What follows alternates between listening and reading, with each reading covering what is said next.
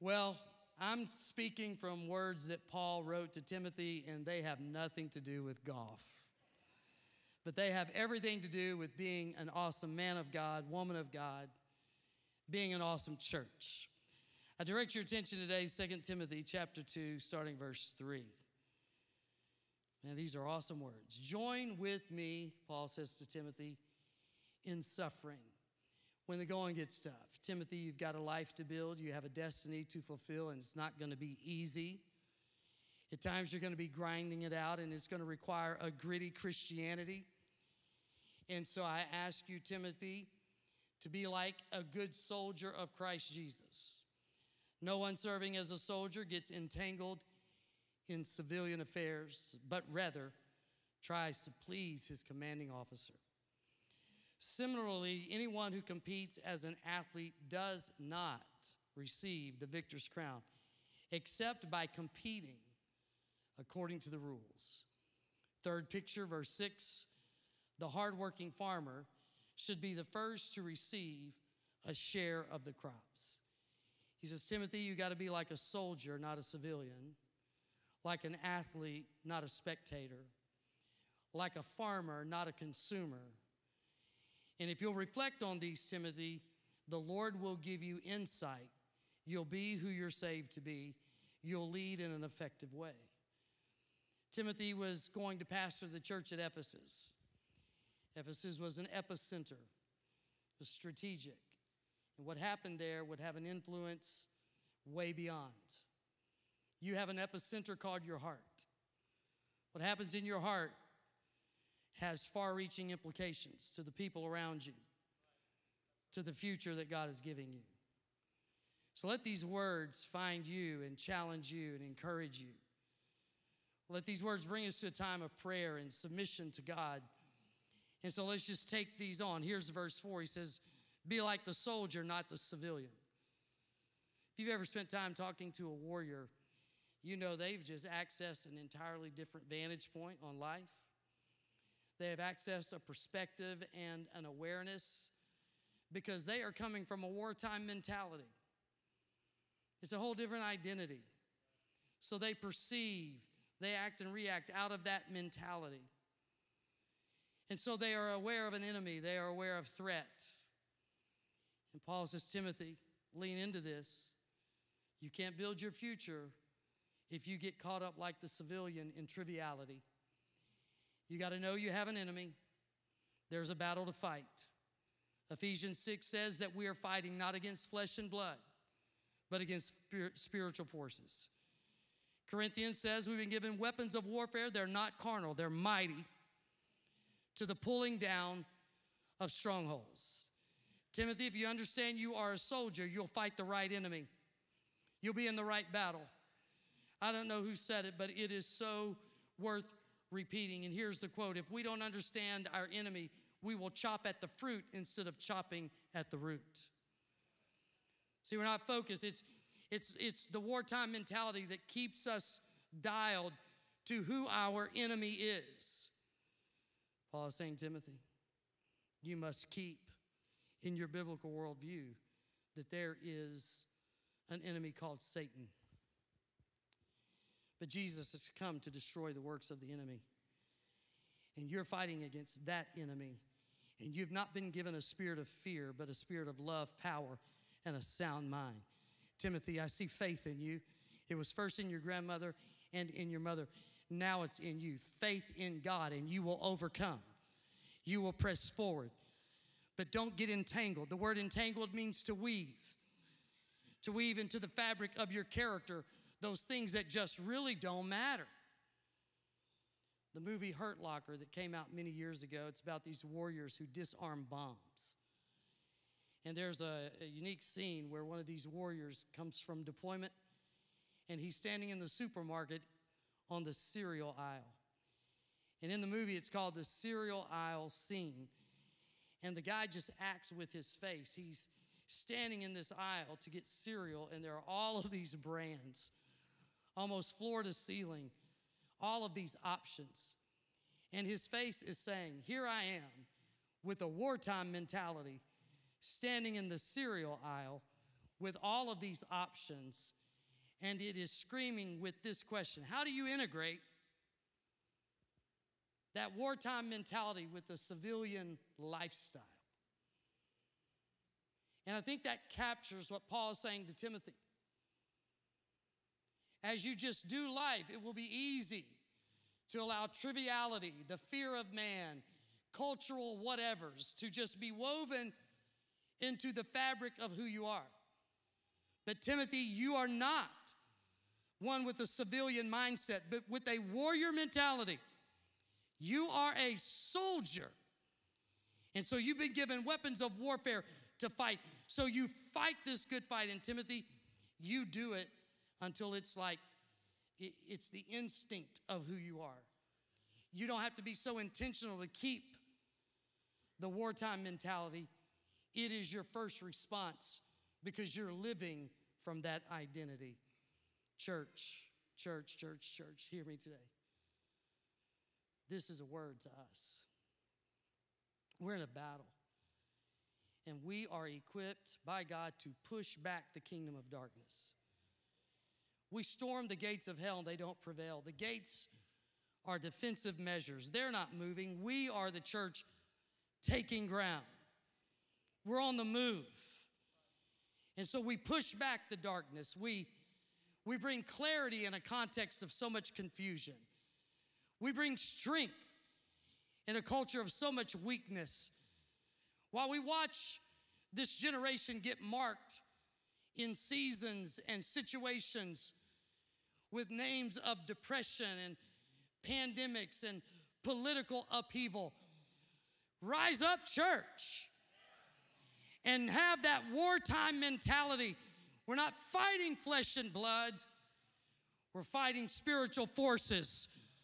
But with the weapons that are not carnal, we will pull them down because we're not striking at the fruit, we're putting the axe to the root of the tree. Come on, give God a great praise right there.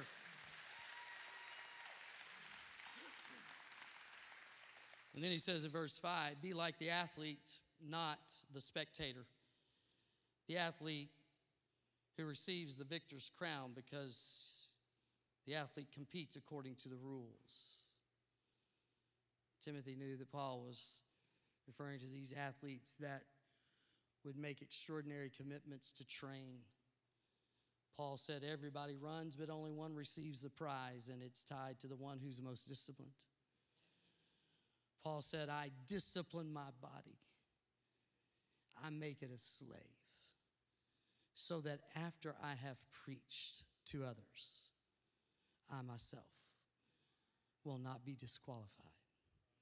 The intensity, the focus, the commitment God is saying, I'll give you power, but I got to find some men and women that'll take on a mentality. You are not a civilian, you're a warrior, you're not a spectator, you are an athlete. You're taking on a mentality to train yourself for the purpose of godliness, for longevity, for living a life that represents who Christ is and what he's done. I love Dallas Willard's quote here. Let's just take it a sentence at a time. However, we may understand the details, meaning of Christianity, there can be no doubt on the biblical picture of human life that we were meant to be inhabited by God. I love that. And live by a power beyond ourselves. Human problems cannot be solved by human means.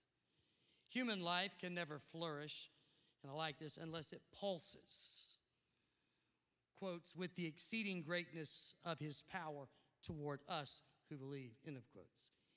Like your life. See, when he says to be the athlete and to train, you're not to come up with all the power, you're to come up with the surrender.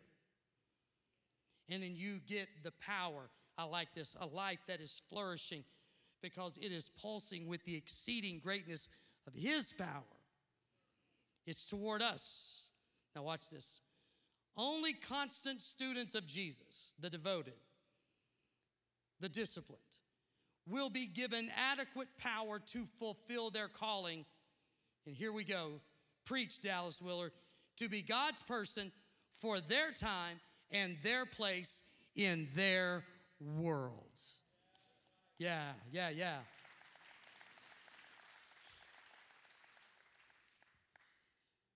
Dallas Willard is no doubt so influenced by Paul's writings here in Second Timothy. And he is saying, Hey, Timothy, Paul is saying, Timothy, I see, I see faith in you. I see the gifting. I see the gift of leadership. You, you are a difference maker. But if you'll have the mentality and, and the discipline of an athlete, then your great gifting and charisma won't take you where your character can't keep you. You can bear the weight of the influence of God.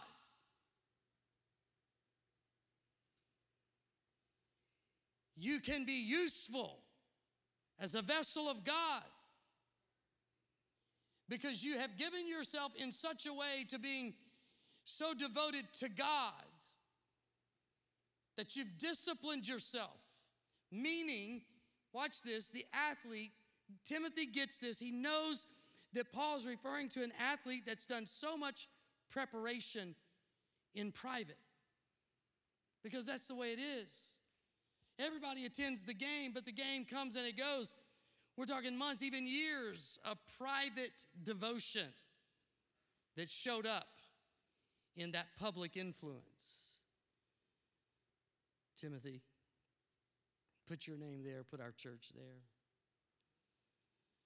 the way you conduct yourself in private, the way you give yourself to the spiritual disciplines in private will mean everything to your public, profound influence. The name of Jesus will bear power through your life. There will be a sustained witness coming from your life if you are guarding your heart when no one is looking.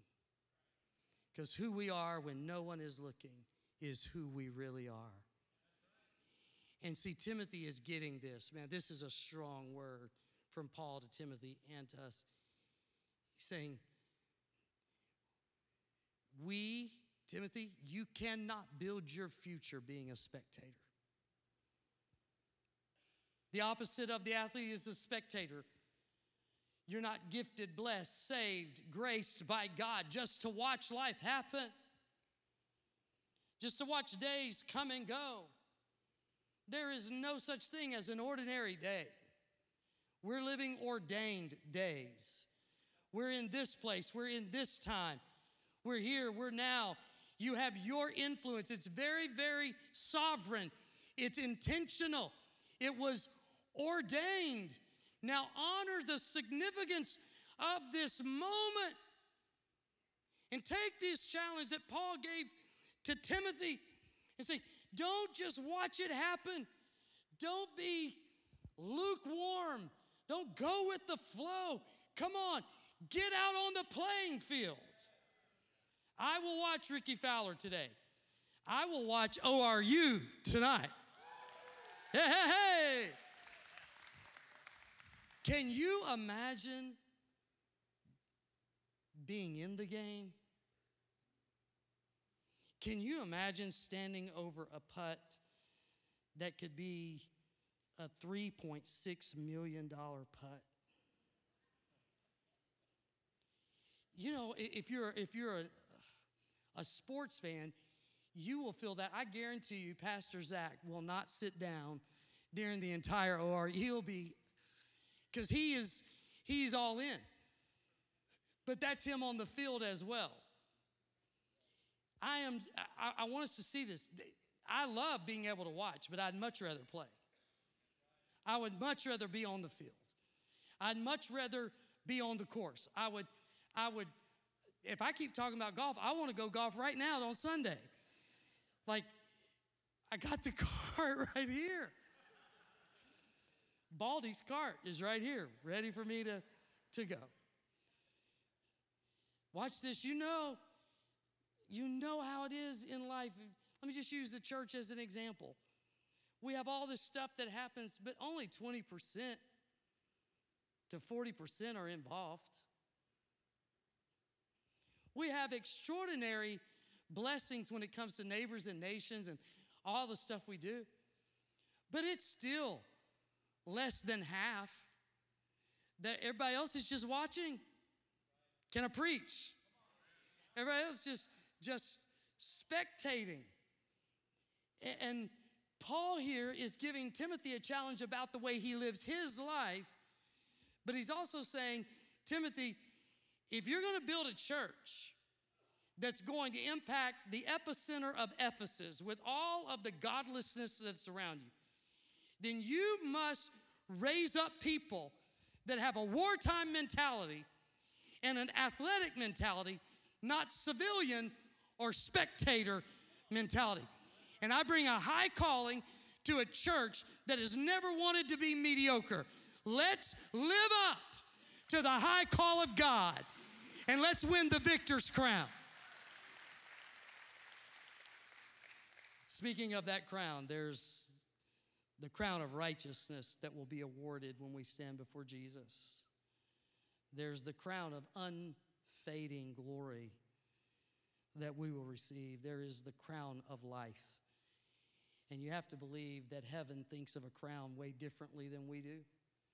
Because heaven is just next, next, next, next level. I mean, if the asphalt is gold and the iron is pearl and the water is crystal, then what is a crown defined by heaven?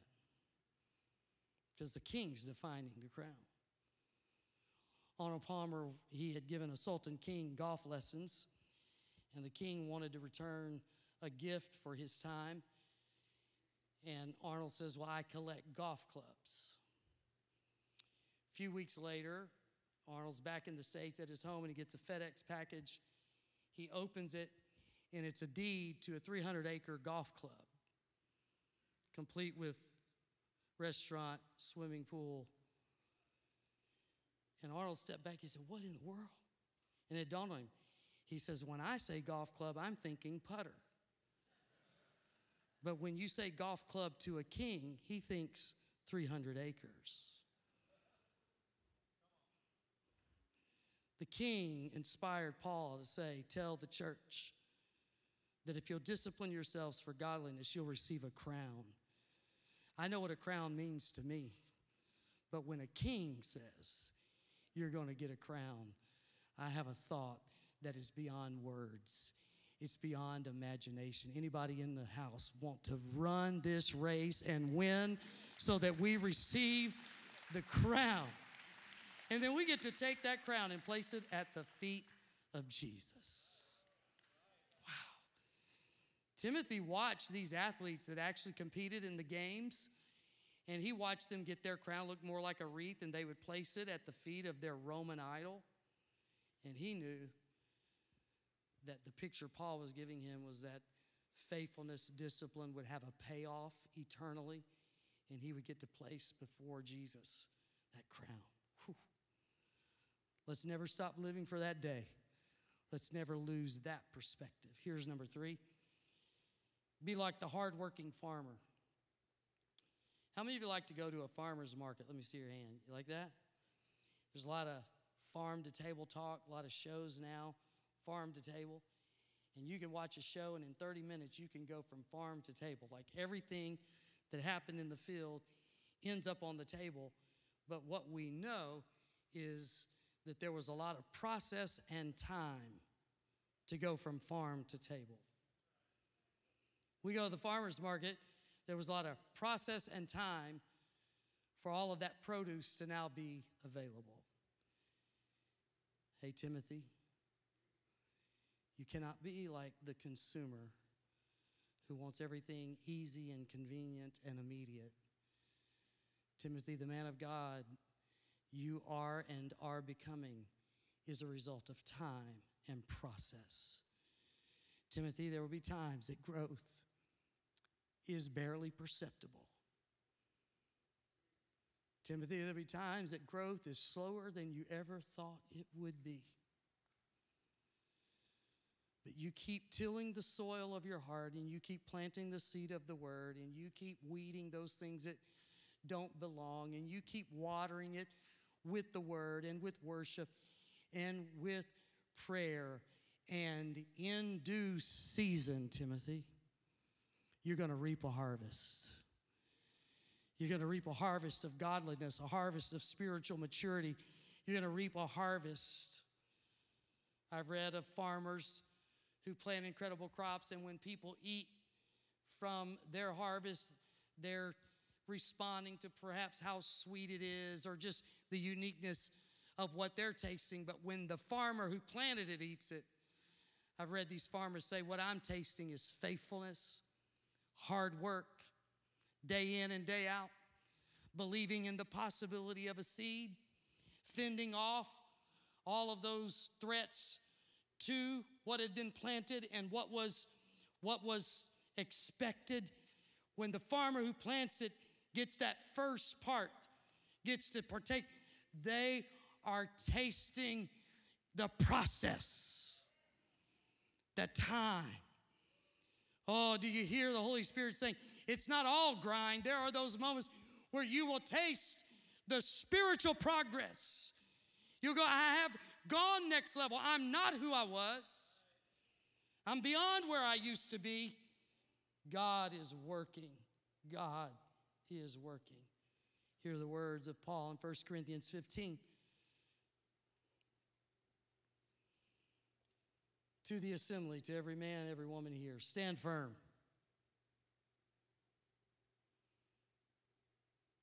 that's a wartime mentality let nothing move you. Stay disciplined. That's the athlete. Give yourselves fully to the work. That's the farmer. And you know, soldier, athlete, and farmer, your labor in the Lord is not in vain. Come on, praise God that there's a payoff. There is a payoff for serving Jesus. As the worship team comes, the payoff is this beyond warfare is victory. Beyond the athlete's effort is the prize. And beyond the agricultural labor of the farmer is the harvest. Can you say amen? Don't drift. Don't back up. Don't back off. Don't back away. Don't ease up. Be more intentional. Be Get on your game face like it's game time. Be all in, keeping your eyes on Jesus, who was like, for sure, the ultimate soldier because he fought sin, Satan, death, and hell on our behalf.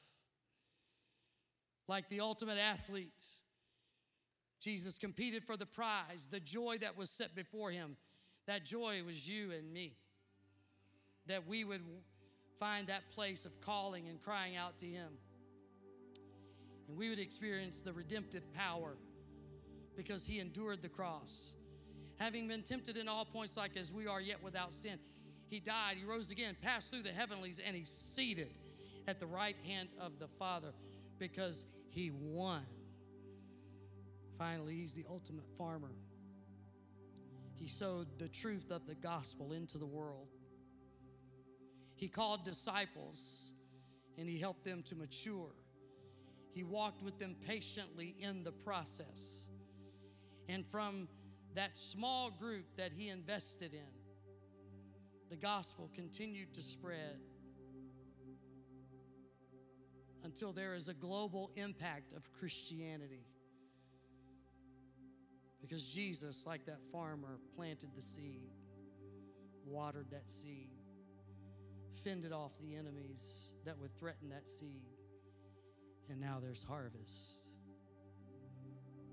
There's a call in this passage to consecration, to holiness and influence. There's a call in this to consecration that allow us to have the character where we actually can bear the influence of God. No coasting, spectating, or consuming. It's too major of a moment for us to think like that and to live that way. If you have secret sin, repent. If you have secret shame, offer yourself to God and let Him help you. If you've become entangled in things that really don't matter, Submit in a fresh way to God. Remember Jesus. Remember the cross. Remember the opportunity that you and us as a church family have been set apart for these great days. God is releasing a vision today. He's painted a picture, and anytime vision happens, there's a picture painted, and you start to see yourself in the picture. You start saying, Hey, I'm going to be like that soldier, like that athlete, like that farmer. Think about the first time you ever used binoculars. You look through, and things are not real clear, but you learn to use the dial and you bring it into focus, and it's vivid with your eyes closed. Do you see the vivid inspiration of Scripture in your vision today? Do you, do you hear the call from that word? Holy Spirit, I just pray for every man, every woman in this room to have a heart receptive to what you have said to us today. Every one of us sense of conviction around each one of these metaphors. We see opportunity and responsibility around each one of these. We hear you and we sense your conviction in our hearts. And we will not just hear this, we will put it into practice. Put it into practice.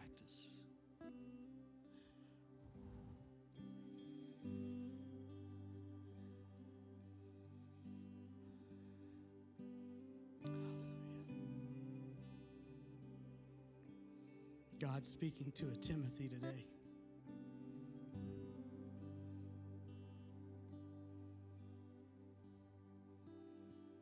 You can build the future that God has ordained because you're going to refuse to just consume. You're going to refuse to be a spectator. You're going to refuse to just be a civilian. You sense it, don't you? He's weaving into the fabric of your mind a wartime mentality. He's stirring you to be disciplined, to open your Bible even when you don't feel like it and when nobody's looking, worship because you have learned to honor an audience of one.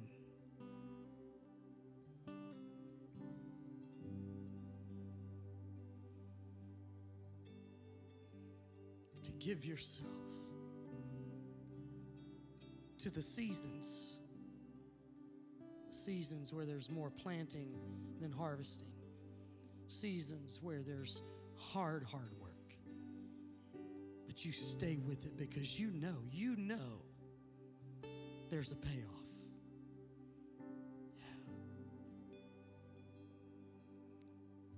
If you say, I, I want to embrace this word today, I want to live this word, would you just stand with me? I would pray it be all of us. I'm standing with you. I'm, I'm answering this. I'm standing up going, God, I want this.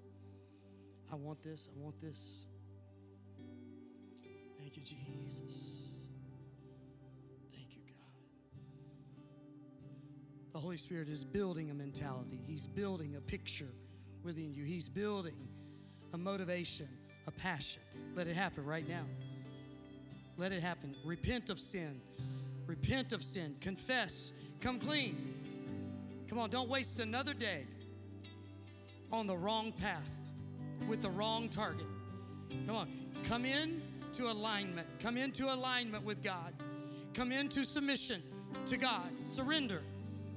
Be the best decision you've ever made. In the name of Jesus, I pray that your heart would be overwhelmed with the opportunity that He's placed before you. Stir our hearts, God, that we might be stirred. Turn us that we might be turned. Lord, renew your works in our day. Lord, do things like we could never imagine. not out of, of people that are consumers, but people that are walking it out. People that are given in commitment to you, knowing, knowing that if we don't become weary, we will reap. Somebody here, you're weary. Don't quit. Don't quit. Hear that. Don't quit. You're weary, but don't quit. Your time is coming. In due season, in due time, you're going to see the harvest. Come on, you believe in the power of the seed like the farmer. Now don't quit. Don't give up. Stay in the process.